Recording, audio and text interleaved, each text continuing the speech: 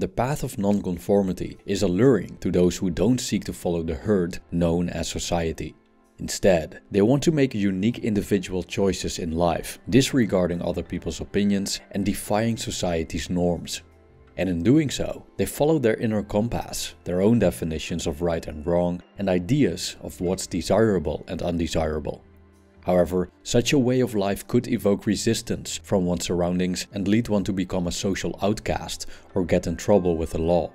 For those reasons, many people prefer to walk in line, exchanging their individuality and independence for the comfortable benefits of conventionality.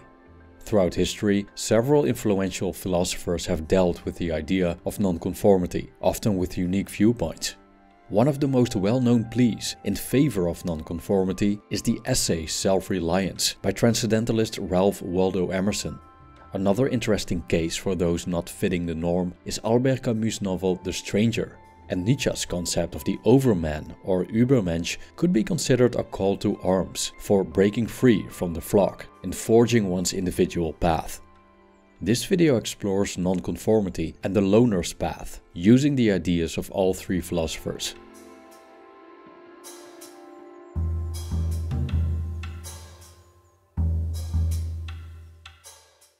An interesting example of someone who refuses to conform to society's standards is the main character of Albert Camus' novel The Stranger. The story takes place in French Algiers and tells about a man named Meursault, a true loner. Even though he fancies pretty standard things like swimming, eating and physical intimacy, Meursault seems pretty detached. When his mother dies, he doesn't seem to care too much about it. And the next day, he watches a comedic movie with his date, former co-worker Marie. When Marie asks him to marry him after a couple of meetings, he indifferently agrees. The immoral and cruel Raymond, an associate of Meursault and the neighborhood's pimp, abuses his mistress an Arab girl. When Meursault and Raymond walk on the beach, they encounter the girl's brother, accompanied by another Arab man. As retribution for what he has done to his sister, the brother stabs Raymond in his arm and face. After his wounds are treated, Raymond returns to the beach with a gun. Meursault then takes the gun from Raymond and sends him home. Meursault continues his walk on the beach alone and encounters the Arabs. When the brother flashes a knife at him, Meursault shoots him five times. In the book, written in the first person narrative, Meursault doesn't mention a motive for his deed, except that the heat and bright sunlight bothered him.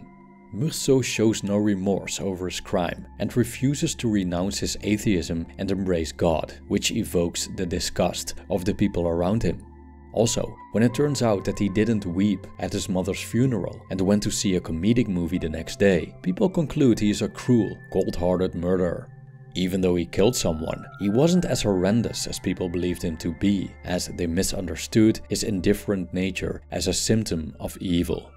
At the end of the story, Meursault accepts that the universe is meaningless just before his execution, granting him a sense of freedom and inner peace. The loner Meursault was the odd one out, defying social norms, being unapologetically himself. He didn't seem to follow conventional ideas of good and evil, and mainly followed his impulses and feelings. He was isolated from society and human emotion.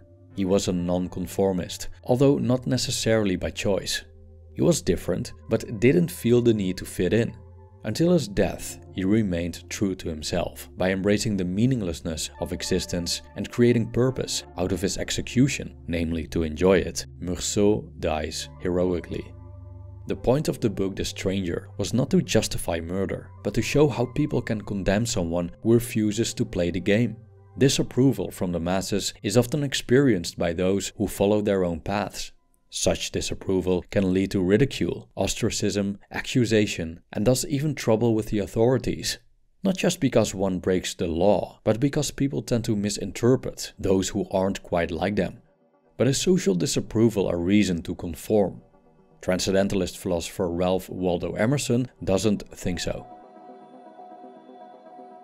The core idea of Emerson's essay called Self-Reliance is that, above everything else, we should trust our inner voice. Emerson argues we're all equipped with an inborn intuition that tells us what to do and that it's not necessary to seek guidance from other people. We just have to look at babies, young children, and even animals to see that they are driven by a natural inclination telling them what's wrong and right for them individually. Emerson saw the inner voice as a divine spark or oversoul, the God that resides within us. In his view, self reliance means that we follow our inner voices and place them above the voices of others.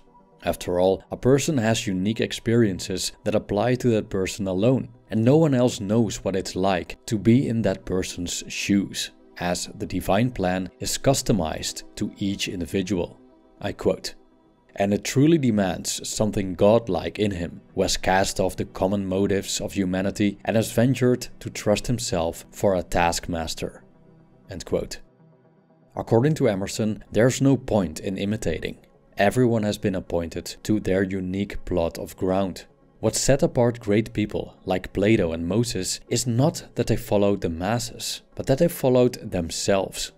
So, to be self reliant, one must be a nonconformist. One has to go against normalcy if one's inclined to do so. However, Emerson was aware of the downsides of being a nonconformist. Going against the grain can lead to resistance, misunderstanding, and estrangement from one's surroundings, which also happened to Camus' character Meursault. To be great is to be misunderstood, Emerson stated. We shouldn't let this resistance stop us from going our own ways, because if we nonetheless choose to conform out of convenience, we betray our inner compass, and thus ourselves. Meursault refused to betray himself when the chaplain demanded of him to embrace the Christian God. The latter would possibly have made things easier for him, but then he wouldn't have been faithful to himself. Although Emerson was a pantheist and thus believed that God is all around us and within us, he urged us to connect with God without a mediator, like, for example, the chaplain from Camus' story or the church in general. So even though Meursault wasn't religious, we could say that, ironically, his divine spark urged him to stay true to himself and reject an institutionalized form of religion.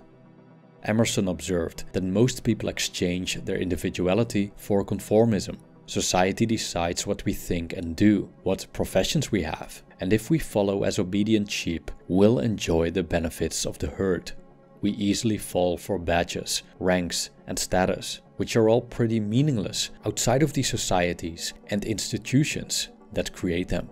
Hence, Emerson sees society as a joint stock company, and I quote, in which the members agree for the better securing of his bread to each shareholder to surrender the liberty and culture of the eater. The virtue in most request is conformity. Self-reliance is its aversion. End quote.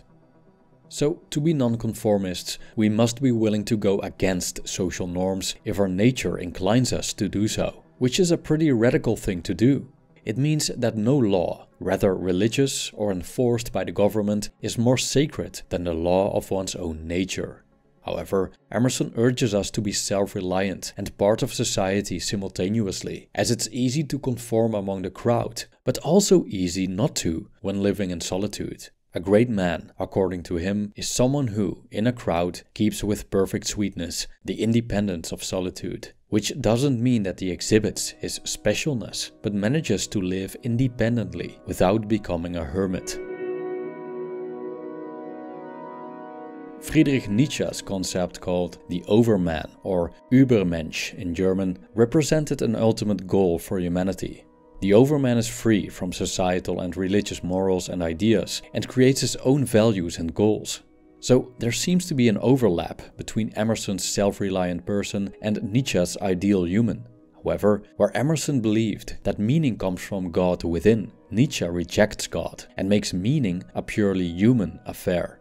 In Nietzsche's book, Also sprach Zarathustra, the idea of the Overman unfolds through the story about a sage named Zarathustra, who spreads his wisdom among the people open to it. Zarathustra proclaims that humans are a rope over an abyss between beast and the Overman. Our purpose is to overcome the distance between beast and overman, a dangerous crossing that transcends the mediocrity and conformity in which the masses dwell. I quote, I teach you the overman. Human being is something that must be overcome. What have you done to overcome him? all creatures so far created something beyond themselves. And you want to be the ebb of this great flood and would even rather go back to animals than overcome humans? What is the ape to a human? A laughing stock or a painful embarrassment? And that is precisely what the humans shall be to the overman a laughing stock or a painful embarrassment. End quote. Nietzsche wasn't fond of religion, namely Christianity, nationalism, and any other form of gang mentality, in which people share a set of values that are not their own. Like domesticated sheep, they enjoy the lower pleasures that society offers them and embrace safety and security rather than the risky road of becoming the overman, someone who has gone beyond human, over the abyss, towards the end of the rope. But one may ask, why should I engage in such a challenging undertaking? The reason is the escape from nihilism. With his famous statement, God is dead, Nietzsche pointed to the downfall of God as a universally accepted authority when it comes to morals and truth. So, to prevent ourselves from falling into nihilism or substitutes like nationalism and hateful ideologies as a consequence of a lack of meaning and ultimate concern, we have to reinforce our individual values and purpose.